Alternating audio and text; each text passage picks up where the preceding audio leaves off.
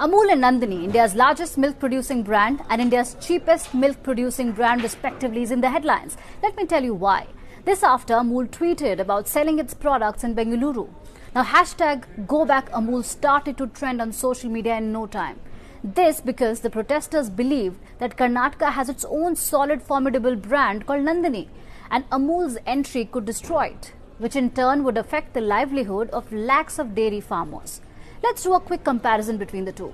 Now, Karnataka Milk Federation sells milk and other products under the brand name called Nandini. One litre of milk at 39 rupees, which is one of the cheapest in the country. Amul, on the other hand, sells milk at 54 rupees in Delhi. Both Amul and Nandini are sold by cooperatives that procure milk from farmers.